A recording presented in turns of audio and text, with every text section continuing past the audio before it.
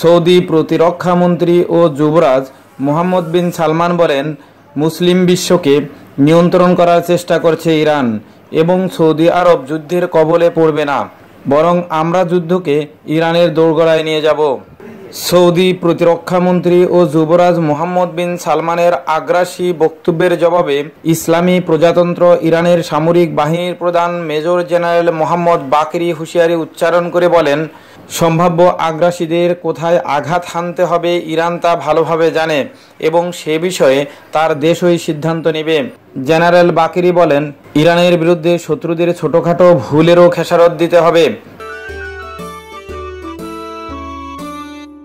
তিনি জোর দিয়ে বলেন, কোনো ঘটনাক্রমে যদি শত্রুরা ইরানের বিরুদ্ধে আগ্রাসন চালানোর মতন দুঃসাহসিকতা দেখায়, তাহলে আমরা তার তাৎক্ষণিক ও চূড়ান্ত জবাব দেব, যা তাদেরকে দুঃখ এবং পরাজয়ের মুখোমুখি করবে। তিনি বলেন, ইরান এ পর্যায়ে তার সামরিক শক্তি ও ক্ষমতা সামান্য অংশ দেখিয়েছে।